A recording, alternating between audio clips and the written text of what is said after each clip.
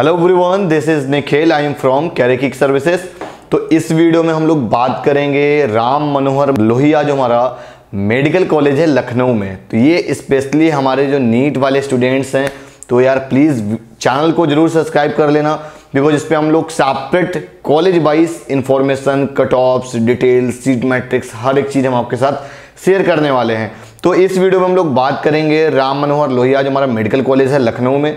तो चलिए शुरू करते हैं, सारी इन्फॉर्मेशन लेते हैं, कितनी नंबर ऑफ़ सीट्स अवेलेबल हैं। यार कट ऑफ्स का मेरे साथ बहुत अच्छा सीन ये है कि हम आपको एग्जैक्टली कट ऑफ़ हम आपको बताते हैं कि लास्ट सीट जो क्लोजिंग हुई थी, जो क्लोजर रहा था, वो कौन सी सीट थी? तो चलिए शुरू करते हैं। सबसे पहले हम लोग यहाँ पर बात करेंगे कि नंबर ऑफ़ सीट्स कितनी अवेलेबल हैं। तो यहाँ पर 150 सीट्स अवेलेबल हैं। अब यार, दो ही ऑप्शन होते हैं, पहला तो 15 percent all India quota and 85 percent जो होम स्टेट की जो काउंसलिंग होती है यूपी नीट वाली, आप उसके थ्रू भी यहाँ पर अप्लाई कर सकते हैं। तो अब यहाँ पर हम बात, सबसे पहले जो बात करेंगे कि अगर हम सर ऑल इंडिया काउंसलिंग के थ्रू अप्लाई करें या हम किसी अदर स्टेट से बिलोंग करते हैं तो हमको कितनी रैंक चाहिए होगी? तो ऑल इंडिया वाले के लिए हम यहाँ पर जनरल कैंडिडेट की बात करेंगे, जो लास्ट ईयर की जो क्लोजिंग रही थी राउंड वन की कट ऑफ़ है यहाँ पे, है ना?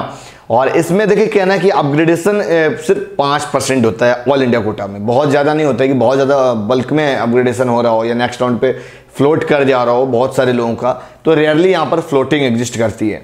जनरल कैंडिडेट का इलेवन हंड्रेड सेवेंटी ये हमारा रैंक है ऑल इंडिया रैंक है सियारल रैंक है, ये ओपनिंग था।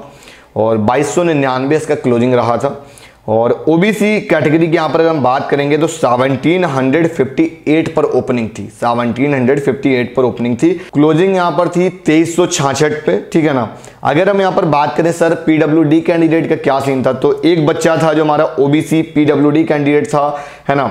और उसको जो अलॉटिंग आई थी वन लेख फोर्टी टू थाउज़ेंड पर यहाँ पर अप्रोक्सीमेटली अलॉटिंग उसको मिल गई थी। देखो पी डब्ल्यू डी कैंडिडेट तो रेयरली होते हैं तो उनकी अलॉटिंग तो हंड्रेड परसेंट आनी आनी होती है। हर एक कॉलेज के एक अपना एक सीट मैट्रिक्स होता है कि हमको कितने ओबीसी लेने हैं कितने जनरल लेने हैं कितने एससी कितने एसटी और कितने हमको पीडब्ल्यूडी कैंडिडेट लेने हैं या और भी जो हमारे बहुत सारे कोटा होते हैं तो उनमें से हर एक का अपना अपना सीट मैट्रिक्स डिज़ाइन होता है।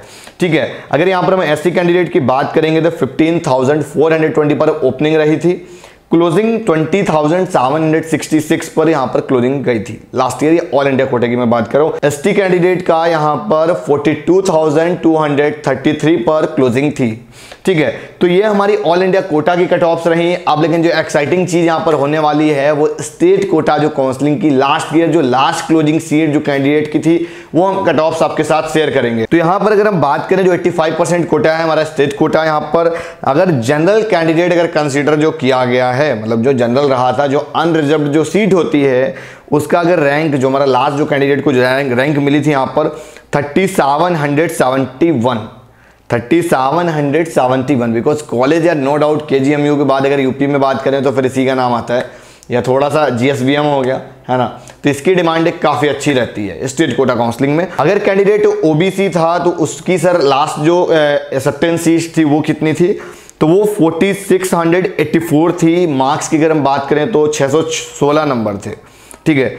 एससी कैंडिडेट की अगर हम बात करें तो यहाँ पर 58,981 484 मार्क्स थे उसके। एसटी कैंडिडेट की यहाँ पर one lakh seventy eight thousand seven hundred twenty eight इसका ये ऑल इंडिया रैंकिंग रहा था मतलब सॉरी जो सीआरएल रैंक आती है उसकी मैं बात कर रहा हूँ यहाँ पर। ऑल इंडिया कोटे से रैंकिंग का कोई लेना देना नहीं है। और उसके जो मार्क्स थे तो 355 मार्क्स थे लगभग यहाँ पर। और ई e की बात करेंगे तो यहाँ पर जो लास्ट जो सीट अलॉटिंग हुई थी 5304 और जो मार्क्स की अगर हम बात करें तो 612 मार्क्स उसके थे। ठीक है ना? तो अब अगर हम बात करेंगे जो सर वो तो ठीक है, जो लास्ट ईयर ये कट ऑफ़ थी। अब हमको इस ईयर कितने मार्क्स लाने चाहिए कि हमको यहाँ पर अलॉटमेंट मिल जाए, या हमको यहाँ पर सीट मेरी मिल जाए? तो देखो सिंपल सा फंडा है जनरल ओबीसी और ईडब्ल्यूएस e वो उन जो लोग मतलब हैं, जो इस कैटेगरी से बिलोंग करते हैं तो उनके 15 से 20 नंबर ऐड कर लेना, जो इस बार के जो मार्क्स थे लास्ट ईयर का जो क्लोजिंग रहा था तो आपका सेफ़ साइड जोन आ जाएगा।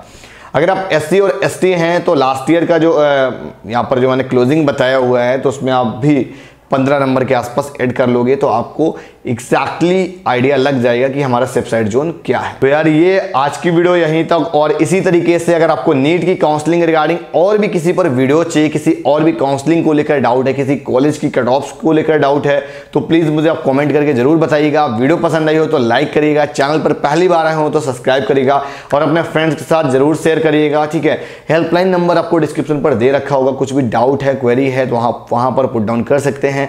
आप अगर मेरे से पर्सनली गाइडेंस चाह रहे हैं तो आप मुझे इंस्टाग्राम पर मैसेज कर देना तो वहाँ पर मैं आपको रिप्लाई ज़रूर करूँगा, ठीक है? तो हम आपको मिलते हैं नेक्स्ट वीडियो में, तब तक के लिए बाय बाय